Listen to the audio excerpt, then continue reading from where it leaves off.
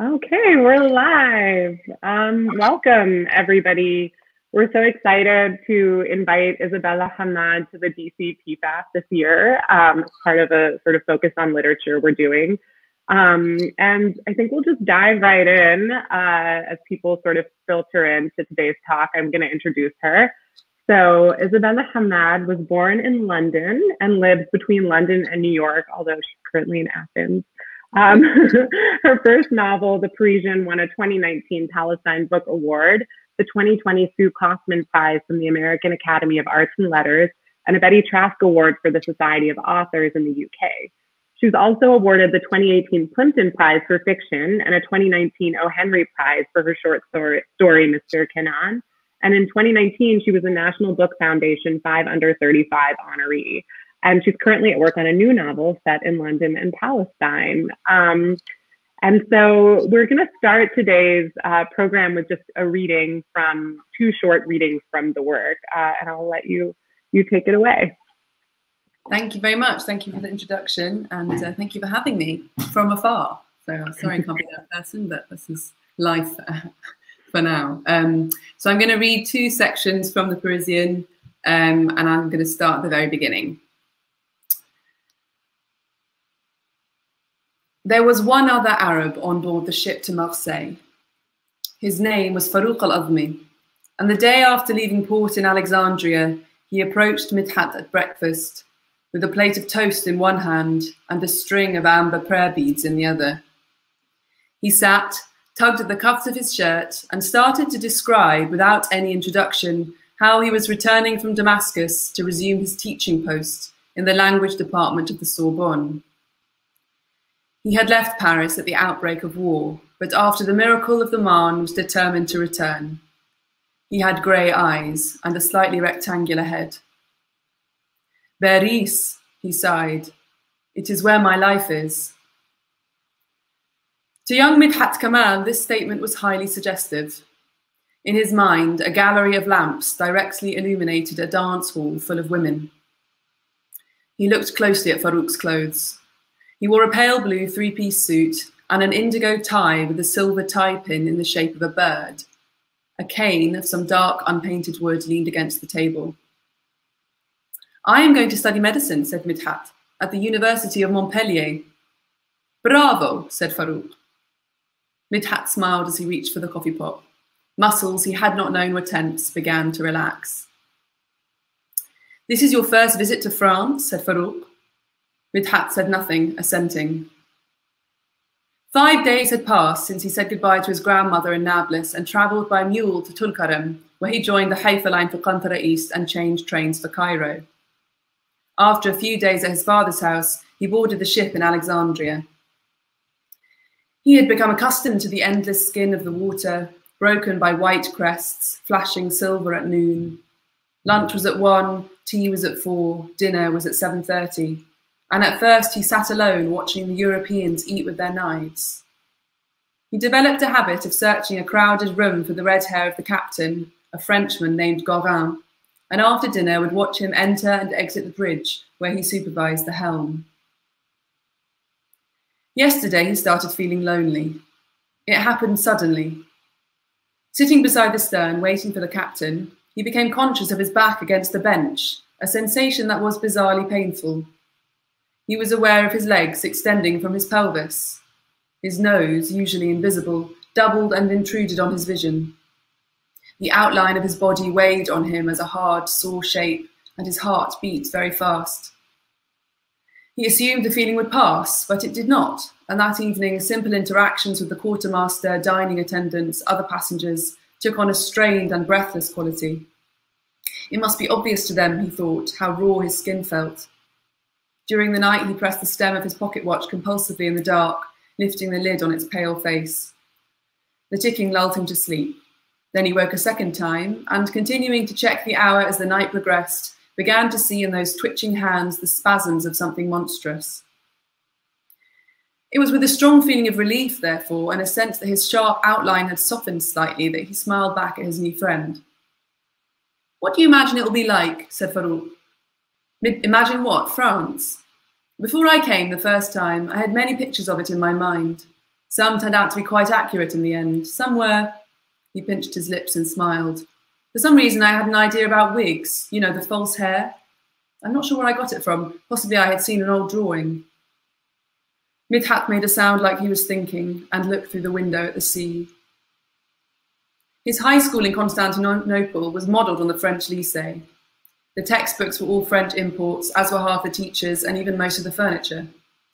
Midhat and his classmates had sat on ladder-back chairs with woven rush seats, reading La Poésie épique en Grèce, memorizing the names of elements in a mixture of French and Latin, and only when the bell rang did they slip into Turkish and Arabic and Armenian in the corridor. Once formulated in French, certain concepts belonged in French, so that, for instance, Midhat knew the names of his internal organs as le poumon and le cœur, and le cerveau and l'encéphale, and understood philosophical abstractions by their French names, l'altruisme, la condition humaine. And yet, despite being steeped for five years in all things French, he struggled to conjure a picture of France that was separate from the furnishings of his classrooms, whose windows had displayed a hot Turkish sky and admitted shouts of Arabic from the water. Even now, from the vantage of this ship, Provence remained hidden by fog and the earth's unseeable curves. He looked back at Farouk. I cannot imagine it. He waited for Farouk's scorn, but Farouk only shrugged and dropped his eyes to the table. And then um, Midhat goes to Montpellier and enrolls in the um, medical faculty um, and falls in love um, with the daughter of his um, sorry, um, the daughter of his uh, his host, uh, a French sociologist called Dr. Molyneux. And at the end of the first part, he um, discovers that the family doesn't really see him as an equal, um, and uh, he's very upset about it. So he leaves and goes to Paris, where he falls in with a group of Syrian nationalists in exile, Syria at that time, including uh, Palestine and Lebanon and um, Transjordan. Um, and when he goes back to Palestine at the end of the First World War, it's under British control, under the British mandate. Britain and France have um, started their um, colonial projects in the Middle East, basically. Um, and in the passage I'm going to read next, the year is 1920, and um, Prince Faisal has announced, or kind of, yeah, he's announced uh, an independent Syrian kingdom of which he is the king, in defiance of the French mandate, even though they don't have an army or anything to back it up. And the Palestinians are um, going to march to Jerusalem to show their support for the for the Syrian kingdom, and they're calling themselves Southern Syrians. So Midhat now is on a train with his cousin Jamil, um, and uh, that's all you need to know. So. Over the next three hours, Midhat fell into a daydream. He thought of what Hani had said in his letter about naming themselves Syrians and wondered what might happen next. Perhaps a war of independence, which would do what to Nablus? He already knew how wartime could suspend the normal rules. It might free him from his father's command. Syria would be free, and so would Midhat. Jamil met his eye and winked. The mountains beyond the window interrupted the sunlight, sculpting his cousin's cheekbones with their moving shade. Beyond him, the foreign women hunched on the benches. And where would that freedom lead? Teta was right. He did not know what he wanted. His tableau vivant of King Faisal ruling Palestine lapsed into a vision of himself in Cairo, married with small children. He tried to work out where this image had come from and was bewildered to realize that he was imagining himself married to Layla. The echo of a drum fought discordantly with the rhythm of the crankshaft. In English, a woman cried, There are so many people. The window was filled with heads and flags. The roar reached them dimly, like a waterfall across a canyon. Midhat put an arm across Jamil to let the women alight first. Several thanked him, and as he bowed and lifted his tarbouche, Jamil hit him on the chest with the back of his hand and laughed. Stepping down was like stepping into a thundercloud. Michael, isn't that the Hebron procession? shouted an Englishman in a boater. I thought they weren't coming for an hour yet. They followed the crowd towards the old city. One smug-looking tarbouche was carrying a gramophone above his head, but its music was inaudible. The crowd thickened and slowed, and a horse appeared by the roadside, bearing a stout man with a small block of a moustache. Ya comrades, his chins distended. Behave peacefully, ya comrades. At Jaffa Gate, they came to a stop behind a group of young European men refusing to go further. Midhat took Jamil by the arm. We're going in? Of course, he shouted, and plunging through the group, released Jamil's arm to clap, borne along under the arch of the gate. The Europeans had moved to one side, and as the parade bent to fit through the entrance, Midhat saw that its tail was made up of Arab women. Many carried banners and placards like the men, a few even waved Sharifian flags. They were shouting something. Palestine Aradna was the first phrase. He could not make out the second. All at once, the crush overtook them, and as they were impelled under the vault into the open air on the other side, Stay with me, said Midhat, snatching his cousin's sleeve. They saw more women on the balconies above, throwing coloured handkerchiefs down onto their heads. By a group of drummers, a Sufi dervish in a long gown and jacket of balding velveteen began to dance. His body talked, first one way and then the other, so his garments spun out and the seams twisted. He rocked his head back and forth, patting the ground with his feet. Dust rose in a mist. The crush became an audience, dilating the space around him. A clap started, then one song caught over the discordance of the many and spread around their area, and as someone pushed him closer to the dervish, Midhat lost his hold on Jamil. The dancer's feet pattered faster, faster, and Midhat stepped close enough to hear the man's own voice. La ilaha illallah, la ilaha illallah. Then something unexpected happened. Half propped up by people on either side, Midhat experienced a strange, dull explosion in his chest. Something close to joy, but deeper, more serene. He moved his head to the pulse, his tongue ticked against his hard palate. Unable to see the dervish's feet, Midhat watched him revolving with mechanical smoothness, motored by the turbines of his tensed, upstretched wrists. A hand clasped his neck. Is everything all right? Jamil's hair was matted, his forehead shining. A scum filmed his upper lip. Look, look, Dubki! The dervish gave way to a line of village men, grasping elbows and hopping up and down. One at a time, they shuffled to the centre of the vacated ring and jumped and kicked. From somewhere, pipes, Midhat looked down at his own legs. His shoes were pale with dust. He felt a shove from behind. You know Dubki. No, I don't. He gasped a laugh and pushed back. The group of women at the rear had moved under the arch, and as the crowd compacted, they settled by the wall and clapped along. One woman near the front, who was not clapping, caught Midhat's attention. She was looking directly at him, staring, in fact, and standing very still. He tried to keep her level in his sight while everyone else jostled, then knew she had detected him because she quickly turned away. She remained in absolute profile, motionless. Without even thinking of Jamil, Midhat pushed towards her.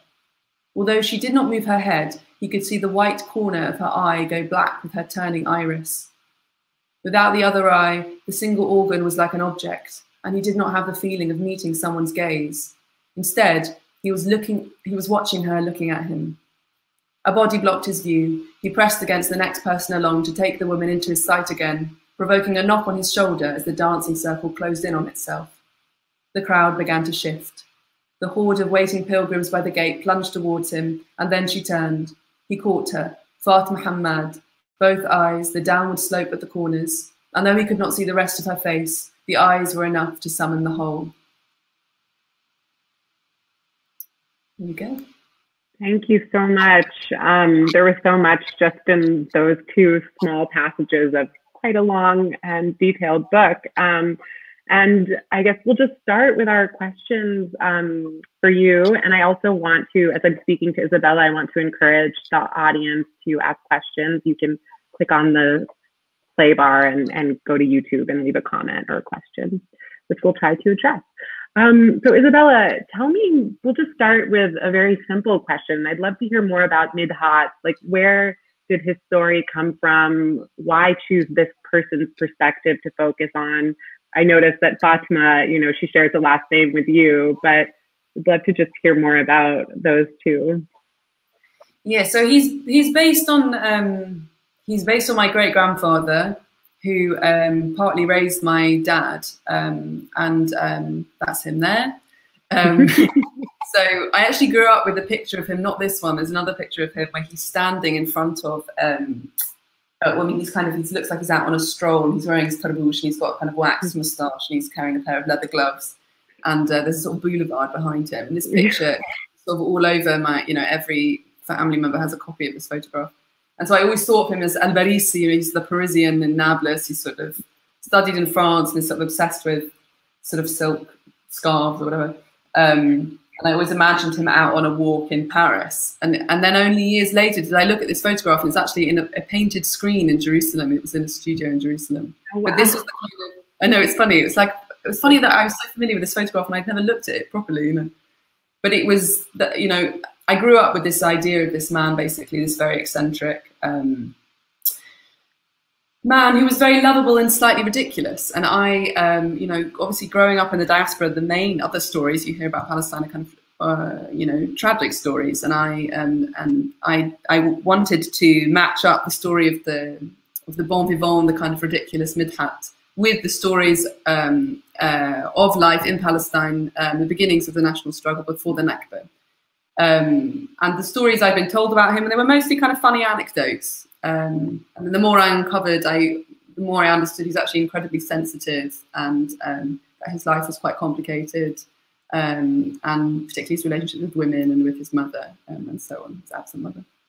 And so Fatima is the woman he marries in the end. It's sort of a giveaway that she's got my second name, um, uh, and. Uh, and that's her there. Those are her down slope, downward sloping eyes. Um, and uh, and yeah, so I, I, set out to write a book basically based on their lives, based on Midhat's life.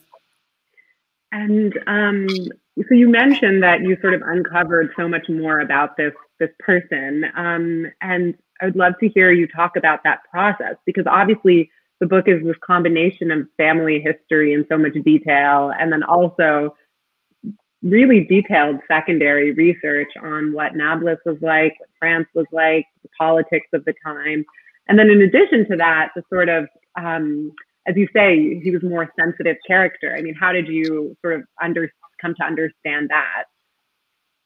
Yeah, I mean, the main kind of, I began with um, oral histories. I mean, I just spent a lot of time with elderly relatives. I interviewed my grandmother a lot. My grandmother um, uh, is a very very good storyteller and can talk for hours you know so she's kind of she's like um she was the probably the most the, the, the principal source for material that actually went into the book so i would often there were, there were anecdotes personal stories of hers that i kind of lifted wholesale most of the other people I, I more felt like I was kind of gathering ambient information, um, and I and I spent a lot of time with kind of elderly people in Nablus. Maybe they didn't even know Midhat, or and all over the place, and you know with refugees and um, also with historians and scholars of different kinds. I just felt like I was trying to um, uh, create a kind of uh, space in which I could imagine that period with as much, with kind of maximum material and psychological realism as I could achieve. I also feel like that experience was its own thing, or, you know, it's sort of related to writing the book, but it also was its own kind of growth period for me as well, um, spending a lot of time with elderly people and just talking about the history of Palestine and their experiences and their childhood memories. Um, and from it, you know, obviously I then wrote the book, but it, it wasn't, it was, those, those processes are quite unconscious or kind of quite, yeah. um, you know, it wasn't, it wasn't like an academic um, process. Right. Um, and then obviously I did a lot of uh, obsessive historical research and kind of harassing historians and stuff well. um, I'm sure they loved it. Um, the uh, the so to that point of like a sort of unconscious psychological um, uh, dimension. I was wondering if you kind of understand or can talk about how much of yourself is in the character of Midhat or any of the other characters in the book, because he is this person that's really trapped between two kind of spaces in the world, two geographies, two cultures and languages. And I know a lot of Palestinians, including myself in diaspora or from families, um, can, can, can really relate to that experience of being kind of both part of two places and also kind of on the outside always. Um, so, how much of that came from your own experience? Definitely. I mean, I wouldn't say that I kind of, I think I, it, was more observations of my male family members. I don't know if it's hmm. that they experience it differently, but I, I, I, I, inevitably all of your characters have pieces of you in, and that's just the case because in order to access this other uh, realm of experience with other consciousness that you've created or are trying to access, you have to use some of your own emotional experience or kind of material in order to kind of make that empathetic jump. Mm-hmm. Um, but but I mean, I think the themes are very very dear to me. Like the themes are obviously very important growing up uh, in two cultures, growing up in diaspora. Um, what that means about kind of your your relation to Palestine, your kind of um, to being Palestinian. Um, but I think uh, I think that particularly for the my parents' generation, um, I think the question of um, assimilating or not sort of maybe more critical. I think that that mm -hmm. period is more difficult to be Palestinian diaspora um, in some respects, uh, and I think that is something that I grew up very conscious of and confused by, and I was probably investigating. I think in the Yeah. Um, uh, so back to something you were saying before, your sort of main person you were relying on for the story was Teta Arada. And um, I noticed that there's a lot of Arabic in the book, but the only actual Arabic script is in your um, dedication, and it says for Teta Arada لكل التفاصيل. Um, so I have to ask, I mean, obviously she gave you so much rich detail. Uh, can you share with us maybe an example of that? Uh, one of your favorite tafasil? She was so uh, yeah she was sort of signing at the launch in london she was signing the, um, um, you know well one that kind of went wholesale in there was the story of Rada and the funerals you know mm -hmm. that when she was a little girl that she would follow the funerals that happens in the third part of the novel that. I kind of when she was telling me that where i was like oh it's going in straight away. Um, but there were lots of stories you know she loved her father so much and i and and she loved his kind of sense of style and his he's so sweet he's kind of like white-hearted man. Um, so a lot of her love for him i kind of felt i kind of was putting into the yeah. Um, so and, and then another thing that's probably interesting for our audiences is you said you you interviewed people in nablus and was that the sort of only time you visited nablus? Or not the only time rather the first time you visited nablus was for this research yeah. So I kind of I sort of went the first time after university, and then I go every year since then. Mm-hmm. Um, so yeah. Yeah. So I guess from that, I was curious. Uh, did you go to Nablus for the first time and start doing these oral histories with the novel in mind already? And if so, how did this trip like influence or change the trajectory of your novel, or did it? You know? Yeah. I mean, I I think on the one hand, I definitely want. I mean, I went because I wanted to write, to write, and, um, mm-hmm. and I wanted to find out about Midhat specifically and Nablus in general. Nablus is kind of like a character. Yeah. Uh, but I, I mean, you know, I was like really young, and I didn't. I, I, think that in retrospect, you can always you can come draw a straight line of like motivation to action, and I think that it was much murkier than that. And I think it's a very like emotional experience and kind of uh, confusing and. Um, uh, life changing in some ways to kind of uh, go through that very sped up learning period. Um, but I did. I mean, I was. I did from you know the moment I got there. I was like interviewing people. I, I mean, I wasn't really sure what I was looking for specifically. You know, my grandmother was just kind of lining up members of the Kamal family. She's writing a history of Nablus, which was not really what I was, you know, kind of. so it was kind of exploratory and slightly ad hoc and um, uh, improvisatory, I would say. Um, mm-hmm. but, um, but I did go for that for that express purpose. Yes. That's interesting. And uh, so you interviewed members of your family and others, and I, I want to ask you a bit more about that because um, there's a huge theme in your book, uh, and it comes up in a number of different places about sort of politics of narrating Palestinian stories, whether it's the sociologist and his experience with Midhat or uh, Abuna Antoine. And I was curious, like, where did that come from? Did it come from your experience of going there and thinking about the politics of just talking to people and representing their stories? Or did it come from reading these historical, sort of orientalizing or documentary sources by European men? Um, yeah, where, where was the sort of inspiration for that thread? I think, yeah, I think the, that's well detected. I think it's all of those things. Um, and uh, the politics of narration, but also the politics of observation and of looking. What does it mean to look and to observe? And in what context um, can that be problematic or um, how does that can intersect with, with power, with structures of power? Um, and the book is, you know, it's kind of full of people generalizing about other people, sort of like very human tendency to put other people in boxes um, and to label and categorize, um, which was kind of very in vogue in that period. That's like the beginning of uh, racial theory, beginning of kind of eugenicist ideas, which directly um, correlates to um, kind of the age of empire and basically legitimizing colonial domination over other peoples because they're inferior. So that's that theme kind of directly features in the book. Um, um, but I kind of wanted to um, explore the uh, both the kind of I would say the violence or the problems of, of putting people in boxes um, and of labeling. What does it mean when you want to label yourself? You know, there's kind of they're like, what should we call ourselves? Shall we be Syrians? Shall we be Palestinians? Um, and uh, and at the same time, what the what the kind of literal fallout is of those of of uh, of those kind of categories or um, and so on.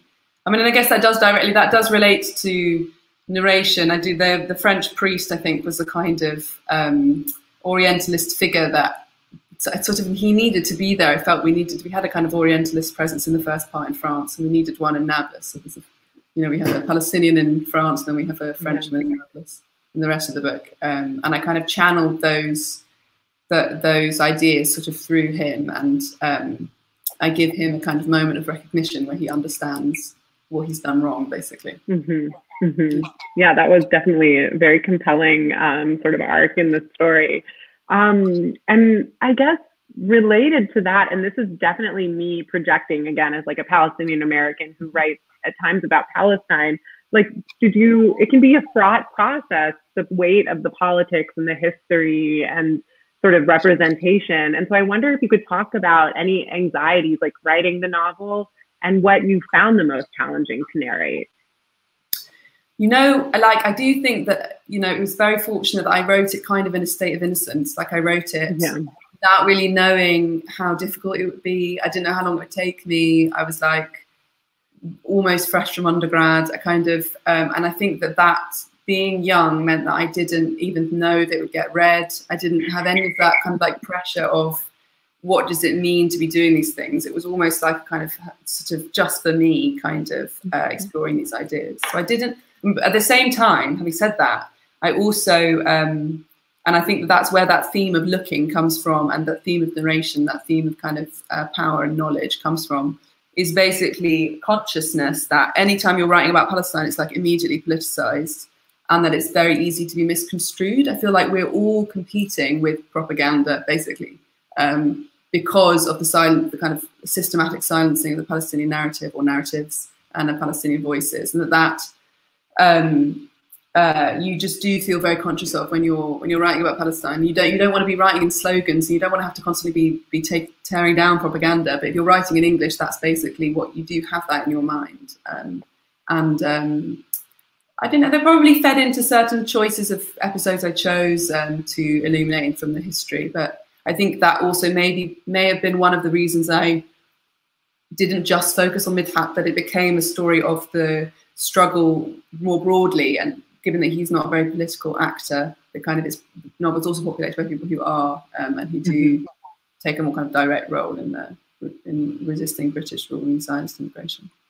Definitely. And I, I think exploring, kind of confronting, at least I as a reader appreciated confronting directly his sort of ambiguous or ambivalent rather relationship with politics because that also felt very real, um, you know, as a, sort of a characteristic. Um, and to your point, and something we try to do with the festival is like sort of to sort of challenge the idea that there's one Palestinian narrative that involves being um, a certain type of political, um, a certain type of political activist, and sort of move beyond that, uh, or just expand upon it. Um, so, kind of re- related to something you were talking about, which is sort of writing about Palestine in English. I was reading a few reviews online, and The Guardian called this book Middlemarch with Minarets, was like in their title, and it made me laugh and kind of roll my eyes. But I was wondering if you could talk a little bit about the publishing industry, the packaging, and sort of the orientalizing that's naturally going to happen. Um, how did you navigate that? Were there any interesting experiences there or like fights you had to fight? Um, yeah. That's very, it's a good question. I don't want to get in trouble. But, um, don't get in trouble, yeah. This is on the record. I would say that there's a marked difference between the um, the British and the U, the British and the US covers, and I think that mm. I um, I preferred something that wasn't that didn't have um, an Oriental flavour. Put it that way. Yeah. Um, but I also understand that there's a that there are people who do want that. So yeah. I mean, like a, but I think that there are different ways of going about these things. Um, um, the Middlemarch with mid minarets. Um, yeah, I think the thing is, is that it is a, it is a kind of, in many ways, it it is like a kind of it's sort of structured like a classic, or like more like an, a Russian novel, I would say, with like lots of mm-hmm. characters and kind of um, families and sort of the way in politics and the private spheres intersect. Um, and so I, I understand that reference, although and, and and I had studied English literature at university, so I can't deny that I read a lot of classics and stuff, and so yeah. those were definitely in my head. At the same time, I do think that the the the style or the kind of realism actually came out of something else. It wasn't. It was because I um, was so obsessively trying to imagine Palestine before the Nakba that there was this kind of obsession with details, and hence the um, dedication to my grandmother for the details. Yeah. Uh, and that, that, that I, I, wanted to visualize it, you know, so that every, you know, there's a lot of emphasis on interiors and on furniture, on on, on mm-hmm. like things like the plumbing or you know the kind of the little sort of extraneous details that aren't really related to the plot, um, which which speak on and relate to a certain kind of scene setting, which speak to an old-fashioned um, realism that might claim, you know, somebody to claim it's like Middlemarch. Um, mm-hmm. uh, but I feel like that, you know, had more to do with Palestine in a way than it had to do with um, George Eliot. yeah, that's interesting, and I think, um, and and it's definitely clear that there is some real world building going on, which at least for me as a reader, I really appreciated. You know, again, these details that you can zoom in on and get a sense of what what this place might have looked like um, before the Nakba, as you say. Um, so I'm going to ask a question. I'm going to read you a short quote from Sherene Seikaly, who's a historian of Palestine of Nablus in the American Historical Review, in which she discussed your book. And she says the Parisian is rich in archival details and brave in its narration of the most intimate of family histories. Hammad is loyal to the Kamal and Hammad family's angle of vision. The majority of Palestinians, peasants, workers, and servants remain nameless, but they begin to appear as glimmers of full personalities at the end of the story. Indeed, it was not until the mid 1930s that Palestinian notables like the Hammads and the nascent middle classes like the Kamals would begin to understand peasants, workers, and servants as more than objects of reform. And I really liked that because I felt like it was a fair description of something that is more of an observation than a critique, right? Like you have access to this certain segment of Palestinian society um, in in your family, uh, and I wonder how much um, class was on your mind in the story, and how you sort of were how you navigated that, given your your interlocutors and the people you were interviewing and the sources that you had. Yeah, it was very much on my mind actually, um, and um, but I I felt that I um, because I was relying on family narrative, I didn't have access to that those the narrative of those classes. But I was very mm-hmm. conscious that the uprising in the 30s was led by um, the working classes and the uh, the fallahin, and so there is a I mean, if there's a critique in the novel, it's the critique of the uh, the elites and their stagnating nationalist movement, um, which is kind of fraught with infighting and with self-interest, which leads to kind of certain kinds of corruption. Um, and then you have this sort of, and it's kind of channeled through the character of the priest, who is, uh, you know, he sees um, what he calls Muslim civilization as sort of monolithic and unchanging. And then suddenly there's this this mobilization of the peasantry, and, and they are basically taking charge um, of the uprising. That's what what kicks things off. So then there's a betrayal at the end of the novel when they when the leadership who've kind of classically co-opted the um, mm-hmm. what is a grassroots struggle, call it off and say that there's a victory, although we know what happened after. Mm-hmm. Yeah. Um, so yeah, it was very much on my mind. I mean, it kind of, you know, um, I uh, they, they, kind of peak at the edges. There's also the um, the maid, um, the maid in Midhat's family who's uh, who's gets fired by his grandmother. Also, kind of appears mm-hmm. sort of apparition. Mm-hmm. So there's sort of the um, reminders of the of the um, the class problems within Nablus society. Yeah. And it's yeah, and I, I think um, both both in Nablus and in the Molineu household, it's definitely present. You know, these class structures and um, lack of mobility, uh, and um, and uh, so it was it was interesting to read and sort of see some of the the parallels, maybe even in these elite households. Um, well, there are obviously differences, uh, and I and I um, I actually uh, I want to sort of go back to so the Middlemarch point, and you had you read a lot of English literature in in college, um, and I'm sure growing up, and I wonder if you could talk more about your influences, your literary influences, both in English and Arabic, if you have them, or Arabic in translation. Um, mm. Um, I think that, um, I mean, I read widely. I don't know that there's there are books that I necessarily copied, although I did refer frequently to Marquez when I was writing this book for Technique. I also was very, um, I read, I kind of reread and reread arabesques by Anton Shammas um, as well, just before writing it. Mm-hmm. Um, but I, I, I, think I think I kind of used a lot of memoirs. I read a lot of memoirs um, from of people from Nablus, um, like Fadwa Tuqan and others, and Sahar Khalifa for another novels. Mm. Um, so yeah, kind of broad. I don't know that there's necessarily yeah. One or you know that I yeah. can. Um, I think that a lot of the time when you with the first book, especially, it's quite unconscious and the aesthetic choices yeah. are quite. You're just sort of teaching yourself how to write and you're piecing it together from whatever you can, whatever's to hand. Yeah. yeah. Did the book, I mean, this is a, I guess, another question about your process, but did, did the book start with Midhat as a character or Nablus or family history more broadly? It started with Midhat. It started yeah. with the story of him going to France and there being a letter that got sent that got yeah. Um, that was the, that was him. Yeah. The, the motivation. Yeah, and then the romance of and all this. Yeah. Um, so I'm going to uh, start reading some of our audience questions. So we have one. Um, did you see the Parisian in a particular place in the Palestinian literary tradition, or do you see the book uh, sort of existing on its own?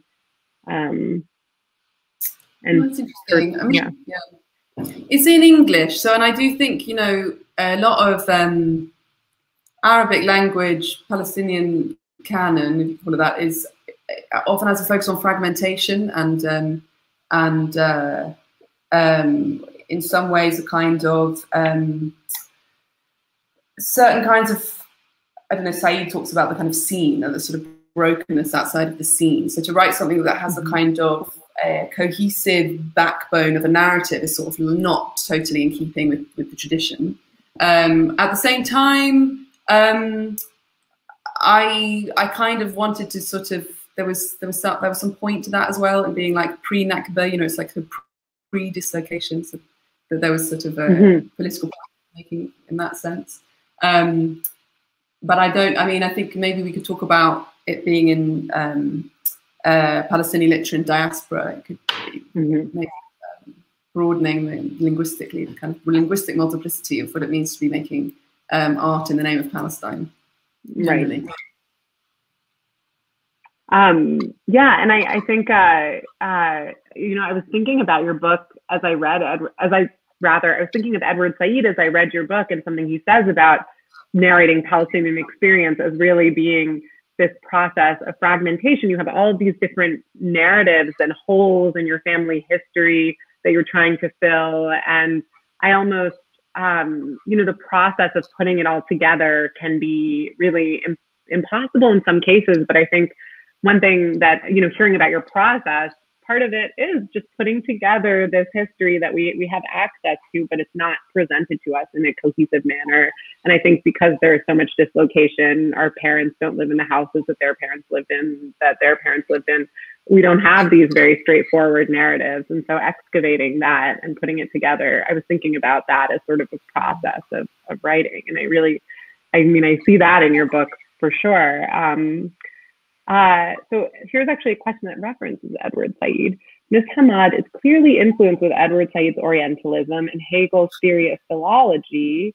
Um, but she was curious about how these characters were um, applied through the character of the professor. So, uh, as a print, so in I guess I'm in order to understand. I think my the way I understand this question is, mm. How do you um, uh, refer to these people as primitive through the character of the um, through the Europeans who are kind of talking about them without reinforcing these stereotypes or uh, sort of dehumanizing them. I think. How do you extricate yeah, your views from those you invoke? Yeah. Because I gave Midhat the opportunity to fight back. He says yeah. he sees the notes and um, is very offended and says, "How dare you try to humanize me? Mm-hmm. I am a mm-hmm. person." You know that it's kind of like, and I think I was, I did that partly because I wanted to um, I, it was taking umbrage with the idea of humanizing. You know, people often talk about like humanizing a narrative or humanizing Palestinians, which is incredibly uh, patronizing. And why should Palestinians have to constantly prove they're humans? Um, so I put it in the novel so that um, we could have Midhat experience that and then argue back and then leave in mm-hmm. outrage. It's really and he's betrayed basically by the woman he loves. He doesn't stand up for him uh, in the face of her father. Um, so you know, it's a novel. I, I because it's a novel with lots of characters and the, and the third person narrators that remove, I'm not expressing a point of view, but you know, through the through the structure of the drama, you can sort of see my point. I think. Right. Definitely. Certainly. Um, uh, so we have another question. Uh, do you use any archives other than your families in your research? For instance, state archives or the Palestinian archives in Beirut. Um, and what was that experience like? Um, I actually didn't use any. I, I, my archival research was quite limited, and I basically um, I uh, I read I, I, there were kind of a few major history books that I read. Like um, there was a history book by um, Ihsan um, mm-hmm. uh, about Nablus, which I kind of had a long drama trying to find. Um, uh, the third the third uh, book in the series, which had mm-hmm. finally found a bit of which is like a long drama. Um, but in terms of the archives, it was basically I just did that for um, to, in order to try and get the voice of the British officers who very briefly appear in um, the second part. Um, so I just I went to the war archives in London and tried to get a feeling for their for their voices and the way they talked. Um, so um, yeah, broadly it was history books and and uh, oral histories. Yeah. And there are, I mean, there are some, and you reference them in your acknowledgement, some really detailed historical accounts of Palestine in this period, like Ellen Fleischmann's and Beshara Doumani. And so there, the, that's, um, you know, they've done a lot of that work as well. Um, Annie Gall is asking, uh, the conversation has touched on class, and I'm also curious to hear about the choices around gender and specifically female characters from the intimate details about how to roll grape leaves to the world of girls' schools and women's political organizing in Jerusalem. Yeah, I guess you know that was obviously a, big interest in, of mine, um, particularly having a grandmother who's very sort of forceful um, figure in um, um kind of Palestinian struggle, um, and um, I yeah, I mean, Elaine Fleischmann was a great was a great source mm-hmm. for that, um, and um, I I used the character of um, of uh, Sahar, uh, who's mm-hmm. she's a, she's a mix of a couple of important Palestinian feminists, among them Tarab Abdel Hadi. Um, uh, they, they often came, from Nablus. It was quite interesting because Nablus is obviously, you know, just quite a traditional town, pretty conservative, and yet they also produced these quite strong um, female figures uh, and thinking about how that also intersected with class dynamics and the development of the uprising in the 30s was also, I think, something I just wanted to explore and um, dramatize. Mm-hmm. Um, yeah, I guess uh, um, oh, wow, we have a lot of good questions. Okay, um, and I think one thing that uh, I guess that question before I go on to our audience questions, that sort of as a historian, um, I'm wondering, as a novelist, like in doing this research, was there something specific that you learned? I'm sure you learned a lot, but is there something specific that an account you can remember that surprised you, a detail or a a reference or an event, uh, and you're like, I have to include this in the novel, um, or just something you learned that that you want to share with us. Um, oh, let me think. I mean, I was like quite obsessed about the architecture. I mean, I, mm-hmm. I talked a lot with architects. Um, I don't know. I think that's a Palestinian so obsession. I, you know, yeah, I mean, I I was rereading the novel. Yeah. I was rereading the novel to prepare for this this talk, and one of the one of the moments that I really loved, which I just gla- like glossed over the first time I read it, was um, when Sahed goes to her husband's house for the first time, in this whole like interlude with the tiles and trying to find the architect who designed the house and trace where the tiles came from. And then she goes back to the house and then you sort of get into the women's movement through these tiles like the women all gather on these tiles. Um well, like where did that detail come from can't remember i mean i think that also i can't sometimes like you know you put things in and then you can't remember if you made yeah. them up or real I mean, uh, uh, yeah but I, uh, the tiles i mean obviously the t- tiles are kind of fantastic um mm-hmm. and um, i I do remember, you know, I did do quite a lot of research about the earthquake. I was quite interested in the way the earthquake figured in people's mm-hmm. memories. Um, and there was this story from that my grandmother told me that Fatima, her mother, had seen the sky, that the, when the earthquake hit Nablus, the, the building kind of opened as you saw the sky and then it closed again. So I guess that kind of was where the tile thing came yeah. from. Really, I, I, forgive me, I can't remember if it was no, true. It's totally it's true. I think I probably made that up. But yeah that's an interesting answer in and of itself but um right. it was so there was like such yeah, um, yeah detail there um so uh, we have another question um, so something you've been talking about but to maybe expand on the process of writing your first novel and translating intimate oral histories into a novel of such breadth and depth. So like how long did the process take? How involved was your family in reading drafts or giving feedback? Um, um, well, it was the whole thing took me about five years in total, uh, and that was uh, a little, you know, kind of chaotic. I, you know, it wasn't like I did the research and then I wrote. I sort of was constantly yeah. doing it. Constantly new questions were arising. I was trying to answer them, um, and the structure of the novel was uh, was sort of changing as I went along. Um, but I, I mean, I, I'm afraid I'm not going to give a very adequate answer because I feel like it's a very unconscious process, and I'm quite a chaotic researcher. Um, and um, uh, yeah, I think that that what I mean, what I've just told you, told you, where I could yeah. what I made up and what was real. I mean, sometimes I would look about things like, oh, great, that's so very inventive, and then I'd realize it was all true. um, yeah. But um, I, I, did. Uh, my my my parents read it. My um, and uh, my father. You know, we speak every Sunday, and he would um, give me ideas or you know weren't always that helpful but there was one you know he was really became quite obsessed with me putting in something about the zeppelin because you know the germans flew, flew the zeppelin over um, jerusalem in uh, they flew it twice once was 27 i think once was 31 mm-hmm. um, and uh, he really wanted me to put in something about the zeppelin they didn't quite fit in with my timeline.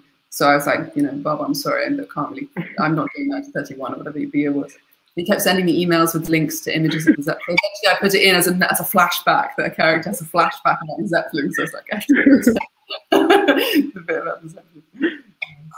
That's great. Um, and then maybe no, this question prompted me to to think of another question, which is, uh, have have you heard from your family since reading the novel, or any of since publishing the novel, or any of the people that you interviewed back in Nablus? Have they read it? Um, what what's their reception been? Like, yeah, it's been great actually. I mean, it's like um, I think um, it's been really it's been really a special thing. I think I think I, I did get in trouble with with for changing the family tree, but you know, there's so many family members. I kind of had to be in, you know, take some creative license. Um, and, and that we were like, no, but you changed them. This is my um, but broadly, it's been really lovely. I had it in March, just before lockdown. I was in Amman, and I did an event at the um, Columbia Global Center there, and there were lots of relatives who'd come who I didn't know before, who had all these other stories about him as well, which is kind of amazing. Um, yeah. Um, uh, so then to like zoom out of the novel, um, because we're the DC Palestinian Film and Arts Festival, uh, and we're interested in sort of Palestinian subjectivities, obviously. Uh, can you talk a little bit more about your experience of being Palestinian growing up and your experiences with Palestine, um, especially before you you visited? Yeah, I mean, I think it's quite you know, when you grow up and you don't go, you have these. Um, uh, you have this conception of Palestine that's a kind of it's kind of abstract in a way, and it's quite kind of uh, we were, you know, I was I was politicized uh, young as a result, and I um, very much I set out to write this book with quite a strong political intention to write about Palestine before the Nakba, um, but without the material experience of going and being there. And that is kind of I think that's also quite interesting in a way that you have this. Uh, it has to do with that. It's almost Palestine is more than a place. Like it has to do with our families and it has to do with all sorts of very private things, and also to do with a certain uh, model of political liberation or vision of political liberation. Um, and uh, so I think that although it's quite hard for me now to, it's always quite hard for me to remember what it was like before I went, in a sense, to have to get back to that slight abstraction. Um, uh, although I'd obviously, you know, I spent time in Lebanon and Jordan, so it wasn't, you know, mm-hmm. still what it's going to be like, but it's it's very different. Um, and uh, so I do think that in a way, although this is a zoom out question to talk, refer back to the book, the book was a, also a kind of growing up or kind of growing in, growing into, in a sense, for me, a learning, really big learning experience from doing that research. Mm-hmm. Certainly. Um, and then back to the book, I mean, food is such a part of it too, and details about food. And I think one of our commenters mentioned the, the rolling of the grape leaves. And so, at least in my own experience, that's something that long before I went to Palestine, it like was a place where it existed was like in our in our cuisine, I guess. Um, yeah. Um, and I have to ask you actually because we've been asking our audiences this. Um, and Nablus has the best on, on social media, and Nablus has the best knafeh. Um, so are you a partisan? Do you prefer the name or khishni, the the soft or the the crunchy? I love name. name, really? Oh man, we'll have to agree to disagree on that. Um, so can you tell us a little bit? Oh, we have more questions. Um, and okay, I will go on to our audience questions. And the themes of madness and mental health recur throughout the book, notably in the first section, when Midhat attempts to diagnose what caused Jeanette's mother to kill herself, spoiler. Um, and in the last section, when he himself ends up in a ward after discovering Jeanette's letter um, that his father has hid from him. Was there a metaphorical significance to these episodes or that general indication of madness throughout the book beyond these specific plot points? So, yeah.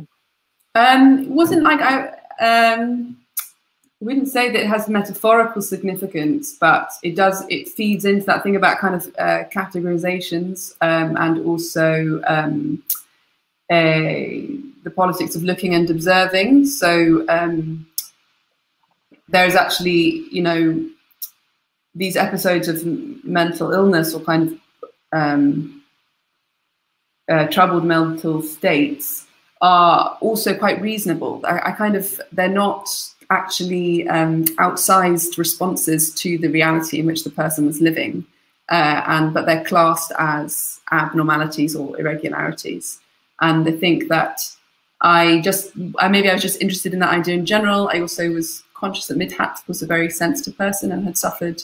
Um, and I was interested in why, you know, what was it about the situation that was provoked, was that was um, provoking such a, a, troubled psychological response in him. Because in many ways, the novel is kind of a psychological portrait as well of him mm-hmm. as something experiences that he can't um, uh, he can't integrate, and they're in different languages, and you know he can't find a way to give a narrative to the two parts of himself.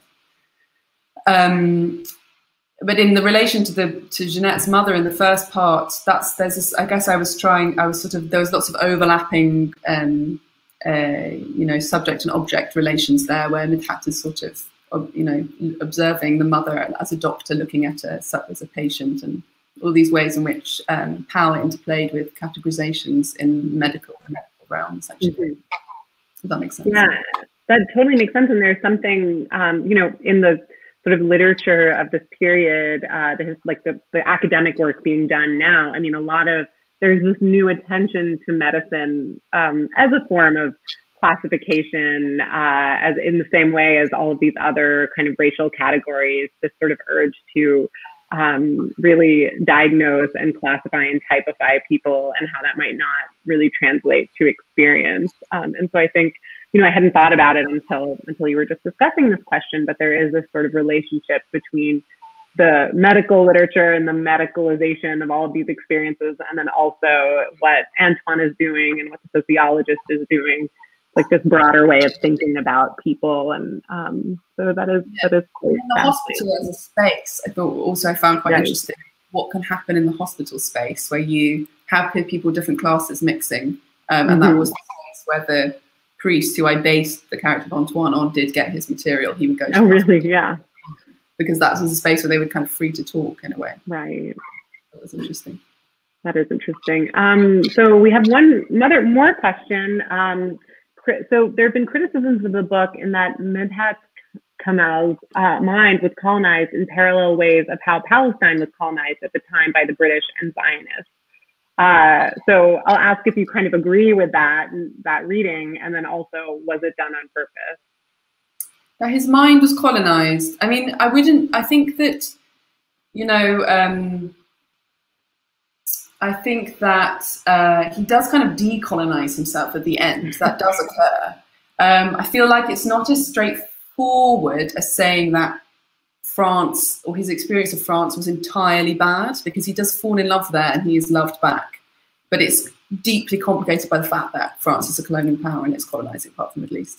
Um, but there is a kind of way in which he basically is colonized in a sense by Orientalist images of Arabs. He kind of doesn't know how to detach himself. So having shrugged off this uh, deeply insulting attempt by his host to humanize him, he then kind of, uh, you know, he's a young man trying to find himself. You know, he's sort of like highly performative and um, uh, very deeply uncomfortable in his skin, as I sort of like in that first reading I gave. Mm. You kind of get a sense of that. He's kind of trying to find himself. Um, and uh, when he goes to Paris, he basically just like adopts these this performative, um, uh, you know, sort of orientalized Arab mode. Mm-hmm. So that there is a kind of way in which that is that that kind of continues, and that in a way it's a sort of almost like a psychological, like a neurotic manifestation of this yeah. former in France. Is this this performative um, so that that part actually made me wonder if you'd read before, or if that was at all influenced, or just like coincidental parallel with Seasons of Migration to the North, um, the Sudanese novel uh, by Tayeb Salih. yeah, yeah, I forgot to mention that. Yeah, yeah, very much. Because yeah, and so there's something there that is almost like complicating the idea of whether it's you know if he's like like you're saying like sort of performing this or wearing it or putting it on and using it to his advantage, then um, it's not such a passive act of sort of being colonized as much of a sort of um, there's more agency there, I guess, is part of yeah. the point of that novel as well. But. Right, and I kind of I try to draw that a little bit with the Samaritans, where um, he comes, he accidentally encounters a Samaritan priest dyeing uh, some parchment, basically to sell to um, Orientalists. So there's a mm-hmm. sort of way in which right they're like pandering to the market and actually he perceives whereas like they're very ashamed they're like you shouldn't have seen this mm-hmm. Midhat recognizes something he's like oh you can you know that they, there is some agency in kind of making right. your own image or like taking control and using it to your own ends i think Right. There's something empowering about that. Um, I remember that scene. Uh, okay, we have two minutes, but can you tell us quickly a little bit about what your newer project is? Sure. Um, it's uh, well, I mean, I'm kind of in the middle of it. I thought, like, yeah. So uh, only as much as you care so, to share. It's about women mainly. It's about three women uh, and their relationships to each other, um, and it's about a play that gets put on in the West Bank. Um, so yes. We'll have to have you back to talk about that um, whenever you're finished. Um, well, thank you uh, so much. We're we're out of time, um, and there are no more questions. So I just want to thank you again for joining us and for um, sharing all of these details and thoughts about the process of writing and your experience um, of the novel. Uh, I want to make a plug to those of you tuning in to um, to show up to our documentary this evening, Ibrahim, as well as our DJ set afterwards. We have a packed day of programming, and you can find it all on our website, dcpfaf.org. Um, and once again, shout out um, to Isabella for joining us from Athens and, um, and, and giving us your time. We really appreciate it. Thank you. Thanks so much for having me. Thank you for tuning in.